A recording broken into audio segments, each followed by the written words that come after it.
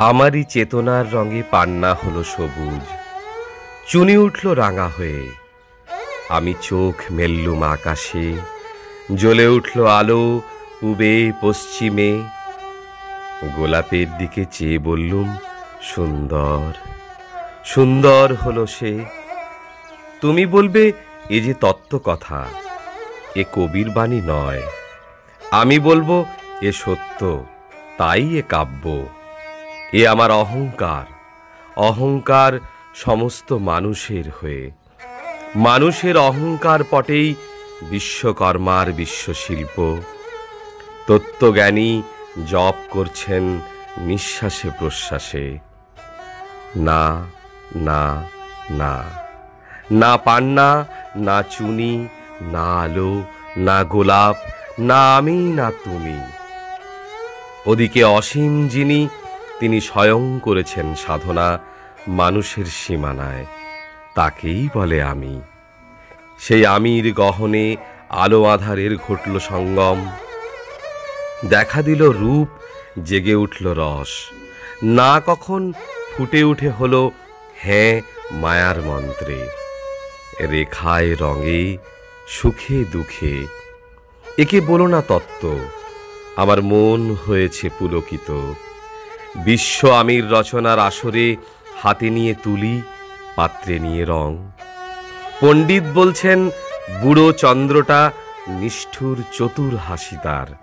মৃত্যুদূতের মতো গুঁড়ি মেরে আসছে সে পৃথিবীর পাঁজরের কাছে। একদিন দেবে চরম টান তার সাগরে পর্বতে। মর্তলোক মহাকালের নতুন খাতায় পাতা জুড়ে নাববে একটা শূন্য। গিলে ফেলবে দিন রাতের জমা খরচ, মানুষের কীর্তি হারাবে অমরতার ভান।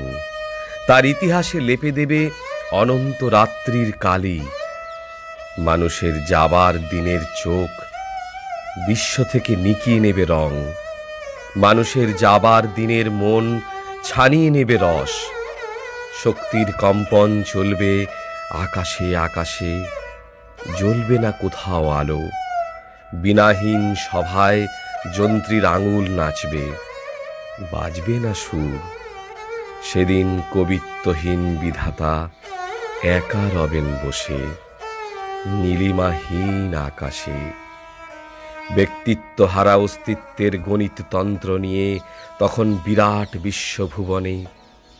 দূরে দূরান্তে অনন্ত অসংখ্য লোকে, লোকান্তরে এ বাণী ধ্বনিত হবে না কোনোখানেই।